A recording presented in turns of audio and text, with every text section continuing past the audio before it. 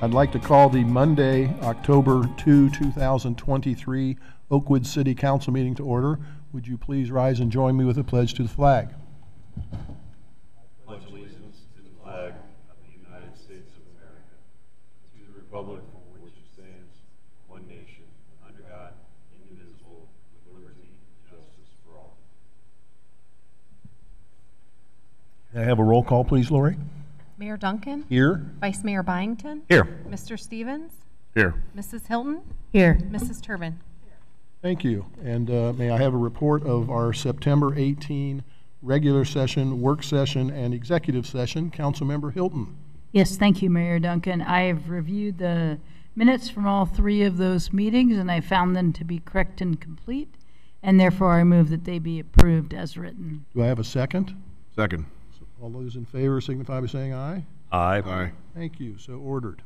Um, Under status reports, I have one status report. Uh, We have an update on our uh, property tax renewal levy this uh, November.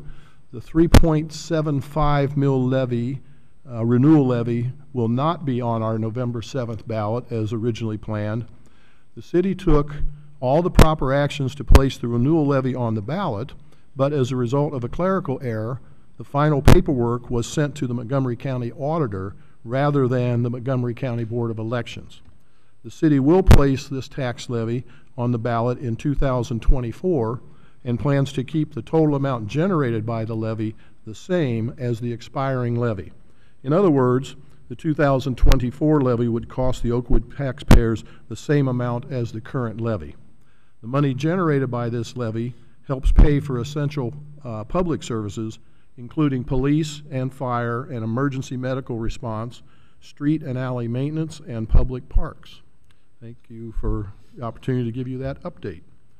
Um, We have no more visitor, or, uh, status reports tonight, and so it's time for the visitors section, and we have no visitors.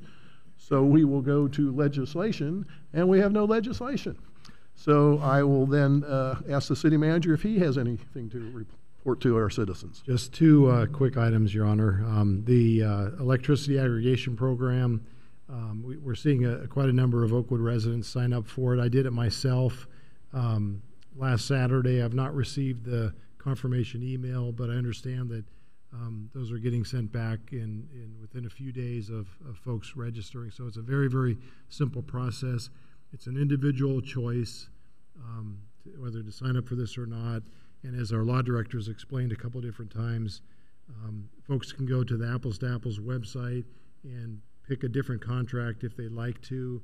Uh, maybe it fits their, their own personal needs better, or they can sign up for this aggr- aggregation program, or they can stick with the standard offer um, through AES. So um, I have really three choices there, but uh, just from my personal experience, it was a very easy process. Um, and secondly, construction updates, just things are moving along. Um, we, we poured the last concrete uh, last week uh, in the Oak Knoll Plat for the sidewalk curb and apron project, southwest corner of town. And uh, work is continuing on the storm sewer project. And we'll uh, very soon now, probably maybe this week, uh, see curb replacement work beginning on Far Hills Avenue um, between roughly Patterson and the, the Southern Corp line. I think our uh, Public Works Director spoke about that two weeks ago. So that's all I have. All right, any uh, questions for our city manager? All right, uh, hearing none, this would be the time for council comments. Councilmember Turbin. Thank you. Um, Yes, I am happy to tell you about a new walking tour that the Historical Society is offering on October twenty-second.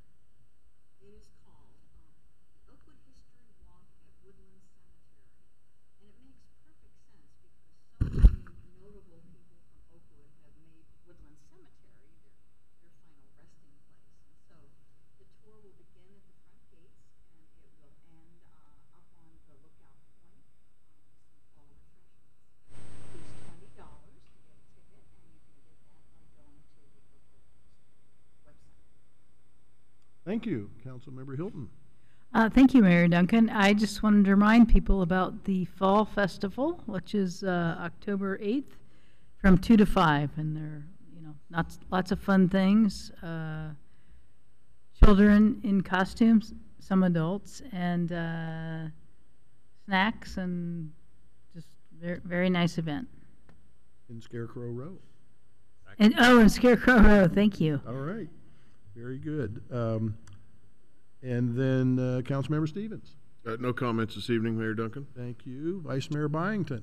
I just wanted to remind folks that this, uh, no, actually not this weekend, next weekend, uh, is October 14th is the Styrofoam Recycling Event uh, at our recycling center. Uh, I encourage folks who, like myself, have been storing up uh, Amazon uh, styrofoam parts uh, to uh, make it out there. I cannot remember the exact times, but I would encourage folks to check our website. It will be listed on there. Uh, and then also to thank our Oakwood staff for the uh, shred event, which was this last weekend.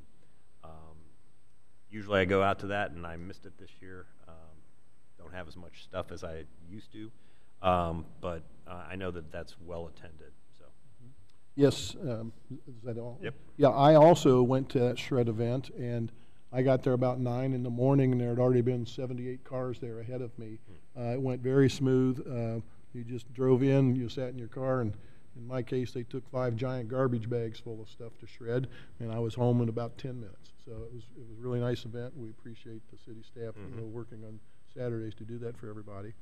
Uh, I have no additional comments, so our next regularly scheduled meeting is going to be uh, on Monday, November 6th, 2023, the day before Election Day. We are adjourned.